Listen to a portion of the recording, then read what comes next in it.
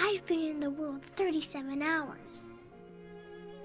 I've seen pancakes and stairs and birds and windows and hundreds of cars and clouds and police and doctors and grandma and grandpa. But Ma says they don't live together in the hammock house anymore. Grandma lives there with her friend Leo now, and Grandpa lives far away. I'm sorry. I'm sorry.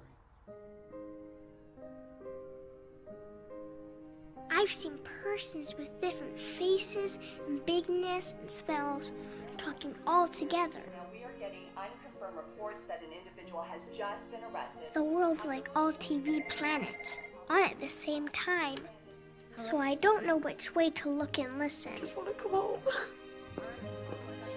There's doors and more doors. And behind all the doors, there's another inside and another outside.